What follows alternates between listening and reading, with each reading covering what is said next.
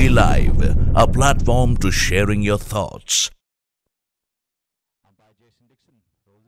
Polo एक जावाज खेल है इसमें घुड़सवार खिलाड़ी। घोड़े की लगाम को साधते हुए बॉल को नियंत्रण करता है और बॉल को गोल पोस्ट तक लेकर जाता है। जयपुर में लंबे अरसे से पोलो खेला जाता है। यहाँ राजस्थान पोलो क्लब्स की ओर से टूर्नामेंट का आयोजन किया जाता है जिसमें जयपुर का पूर्व राजघराना सहयोग करता है। इस बार एक जनवरी से पोलो का नया सीज़न शुरू हो चुका है, जो 2 फरवरी तक चलेगा। इस दौरान पाँच टूर्नामेंट होंगे और छह एग्जीबिशन मैच होंगे। इसमें कई देश विदेश के खिलाड़ी भाग लेंगे। इस बार पोलो सीज़न के बारे में और जानकारी दी पोलो खिलाड़ी और जयपुर पूर्व राजघराने के सदस्य पद्मनाभ सिंह ने। बेसिकली आपको जैसे बताया कि कल एक तारीख को हमारा पोलो सीज़न शुरू हो गया, पाँच हफ़्ते तक चलेगा ये सीज़न जिसमें पाँच हाई गोल के टूर्नामेंट्स खेले जाएँगे। हर सैटरडे को एक एग्जीबिशन होगा। इस बार हम लोग काफ़ी अलग अलग वैरायटी के एग्जीबिशन कर रहे हैं। इस उम्मीद में कि हम लोग पोलो को आम जनता से जोड़ सकें। और जैसा कि मैंने आपको बताया, पच्चीस तारीख को एक लेडीज़ एग्जीबिशन होगा, जिसमें बाहर की लेडीज़ और इंडियन लेडीज़ आके खेलेंगी। हम लोग कोशिश करेंगे कि काफ़ी सारे स्कूलों से हम लोग गर्ल्स को इन्वाइट करें, उनको इनक्रेज करें।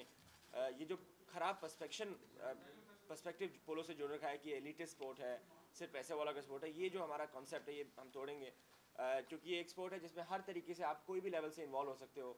बहुत सारे ऐसे फाउंडेशन और ऑर्गेनाइजेशन हैं जो यंग टैलेंटेड प्लेयर्स को अपॉर्चुनिटीज़ देते हैं, उनको टीम्स देते हैं। तो ये हम लोग जो, ये जो इमेज है पोलो की हम ख़त्म करना चाहते हैं। उसके अलावा सारे के सारे जो इंडिया के टॉप प्रोफेशनल्स हैं, वो सारे आके पार्टिसिपेट करेंगे।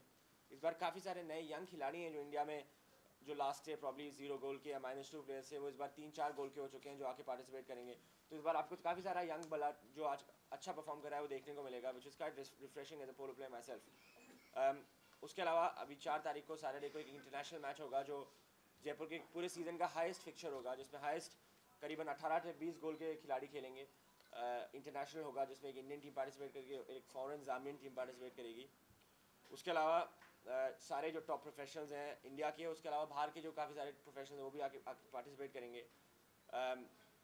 उसके अलावा इस बार हमने मेक श्योर किया है कि पहली बार इंडियन पोलो में अ, दो इंटरनेशनल फॉरेन प्रोफेशनल अंपायर्स होंगे। आई डोंट थिंक ये आज तक कभी हुआ है इंडिया में। This is one of our efforts to promote fairness in the sport because there's a lot of complaints all the time you know a lot of teams that lose always blame it on the umpiring. Uh, sometimes we ha- always have to have one professional umpire and one domestic umpire and that domestic umpire a lot of people doubt sometimes uh, so to make sure that Jaipur Polo season is conducted in the most fair manner you know and to make sure the best team always wins we have two foreign professional umpires to make sure that uh, none of this comes in the way